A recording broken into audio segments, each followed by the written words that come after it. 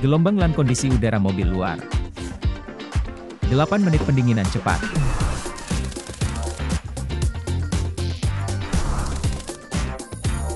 Ponsel menyesuaikan suhu.